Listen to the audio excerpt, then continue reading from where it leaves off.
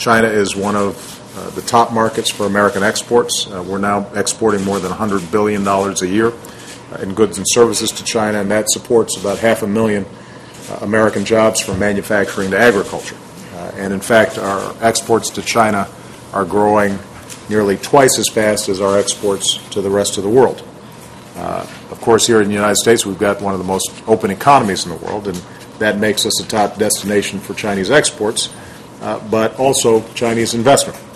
Uh, it, it is important, I think, to note that uh, even with China's enormous population, uh, the United States still does more trade with Europe than it does with China. That, I think, gives an indication of the amount of progress that can be made uh, if uh, we are consulting with each other, if we are hearing specifically from businesses in terms of how we can uh, ease uh, some of the uh, frictions that exist in our trading relationship.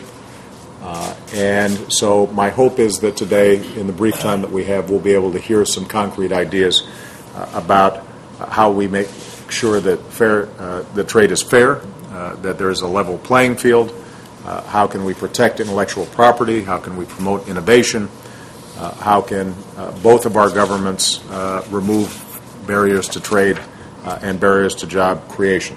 Uh, and with China's growing middle class, I believe that over the coming years we can more than double our exports to China and create more jobs here in the United States. and I'm sure that Chinese business leaders see enormous opportunities here as well.